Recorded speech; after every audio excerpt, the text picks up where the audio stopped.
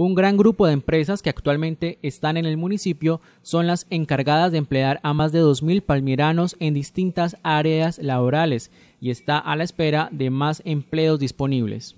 De los eventos y, la disponibilidad que ha tenido la administración municipal para la atracción de inversión, hemos tenido unos resultados concretos.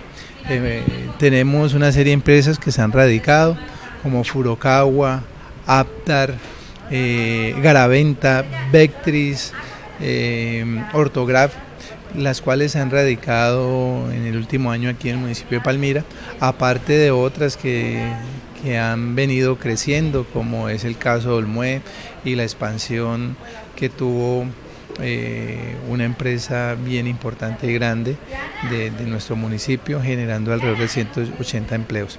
¿Qué viene?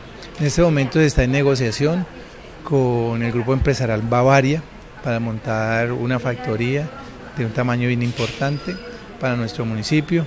Hay otra serie de empresas que han tocado la puerta a la Administración Nacional Alcalde, como una empresa de fabricación de llantas y otras tres que están allí que se ha solicitado que se guarde reserva en ellas. Las personas interesadas en conseguir un empleo en alguna de estas empresas deben estar registradas en la base de datos de las oficinas de empleo que hay en la ciudad, como lo son la del SENA, Confande y Confenalco.